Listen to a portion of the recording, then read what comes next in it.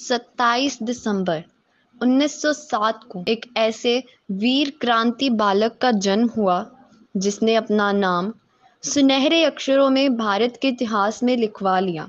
वह बालक उस वक्त में कुछ ऐसा कर गुजरा, जिसके कारण आज की पीढ़ी उसे बड़े गर्व और सम्मान के साथ याद करती है। मैं हूँ भगत सिंह। मुझे अपने भारत को इन अंग्रेज़ों से आज़ाद कराना है।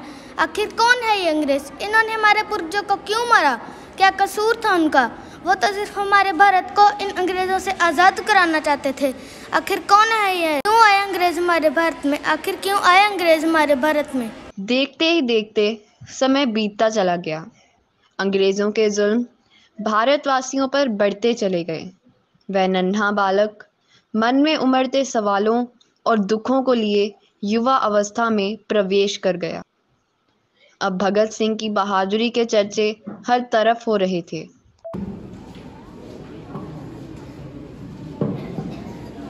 क्या करना है अब वक्त आ गया देश की जनता को जागरूक करने का।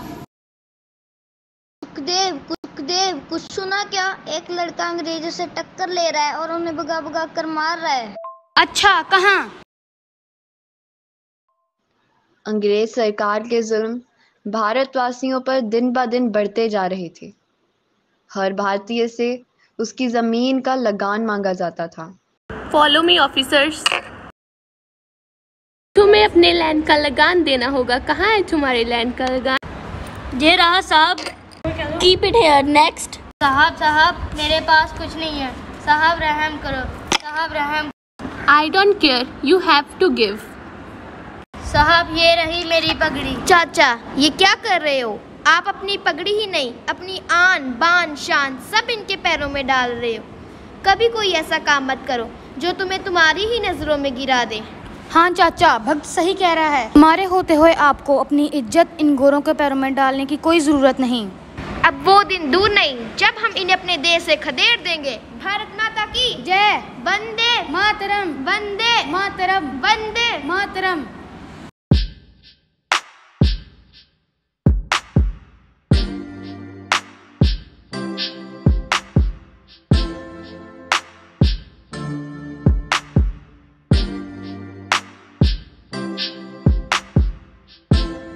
कोई है कोई है मुझे भगत सिंह से मिलना है।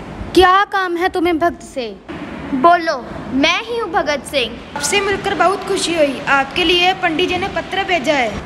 क्या है इस पत्र में? वह चाहते हैं कि आप मुझे अपनी पार्टी में शामिल कर लें। वैसे तुम्हारा नाम क्या है? और भी तो कई पार्टियाँ हैं। हमारी पार्टी में ही क्यों शामिल होना चाहते हो? उनसे जाकर क्यों नहीं मिल लेते? माता की कसम खाता हूँ। वह दिन आएगा ही नहीं जब माथे पर गद्दारी और कार का कलंक लगेगा। मार देंगे या मर मिटेंगे?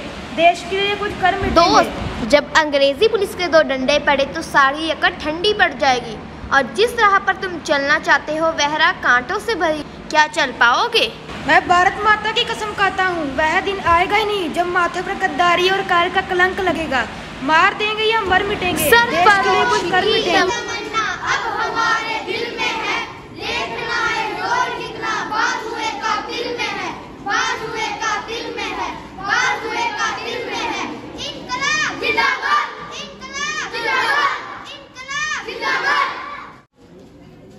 भगत सिंह का जुनून तब और भी बढ़ गया जब साइमन कमीशन के शांतिपूर्वक विरोध में अंग्रेज़ों द्वारा लाठीचार्ज करने पर लाला लाजपत राय शहीद हो गए।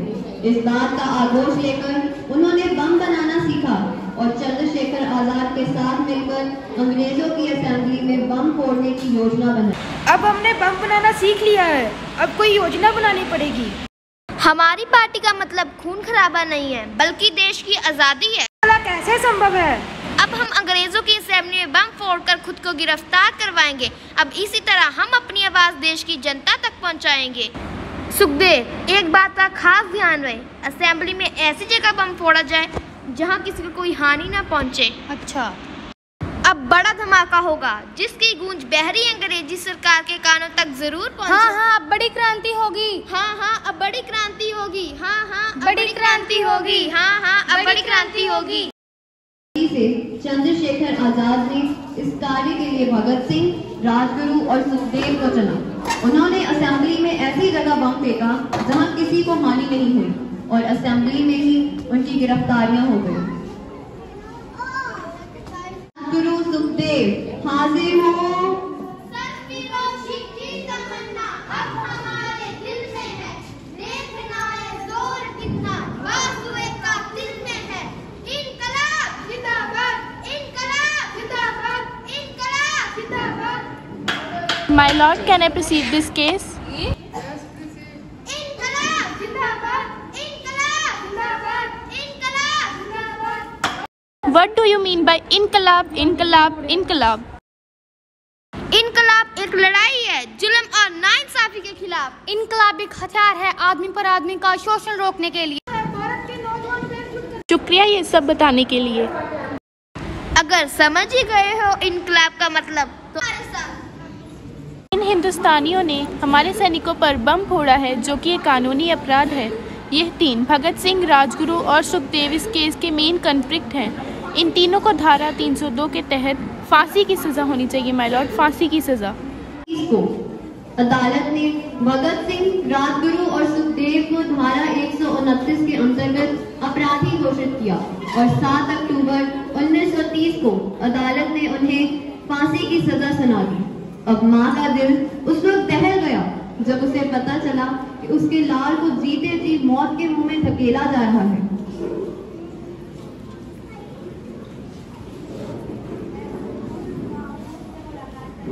भगत सिंह को लाया जाए।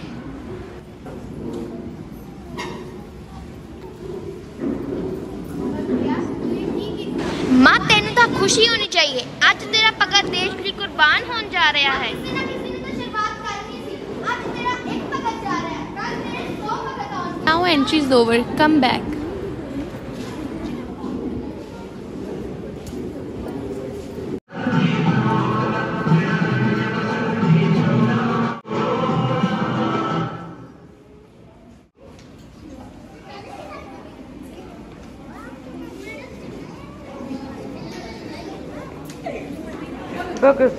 तुम्हें फांसी होने वाली हो तुम हंस रहे हो इस उम्र में एक नौजवान ड्रीम देखता है और उसे पूरा करने सपना सपना ਤਾਂ ਅੱਜ ਮੈਂ ਬਚਪਨ ਵਿੱਚ ਹੀ ਵੇਖ ਲਿਆ ਸੀ ਇਹ ਮਿੱਟੀ ਹੀ ਮੇਰਾ ਸੁਪਨਾ ਤੇ ਮਕਸਦ ਹੈ ਇਹ ਕੋਈ ਆਮ ਮਿੱਟੀ ਨਹੀਂ ਇਹ ਜਲਿਆਂ ਵਾਲੇ ਬਾਗ ਦੀ ਮਿੱਟੀ ਹੈ ਜਿਸ ਵਿੱਚ ਮੇਰੇ ਦੇਸ਼ ਦੇ ਲੋਕਾਂ ਦਾ ਖੂਨ ਡੁੱਲਿਆ ਹੈ ਇਸ ਮਿੱਟੀ ਨੂੰ ਆਜ਼ਾਦ ਕਰਵਾਉਣਾ ਹੀ ਮੇਰਾ ਮਕਸਦ ਤੇ ਮੇਰਾ ਸੁਪਨਾ ਹੈ की कोशिश करता है क्या तुम्हारी इस कुर्बानी से देश आजाद हो जाएगा ओके तुम्हारी कोई लास्ट विश आखिरी ख्वाहिश भारत के इतिहास में वो काला दिन आखिर 23 मार्च 1931 को आ गया।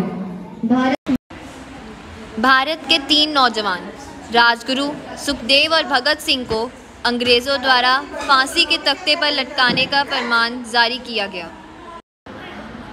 अंग्रेज़ों ने क्रांति की जिस चिंगारी को दबाने की कोशिश की, वह समुच्चे भारत में फैल गई। एक भगत सिंह के स्थान पर अनेकों भगत सिंह अपनी मातृभूमि के लिए बलि देने को तत्पर थे। आज आज़ादी के पचहत्तरवें महोत्सव के दिन आओ उन देशभक्तों को राष्ट्रगान से सल्यूट करें।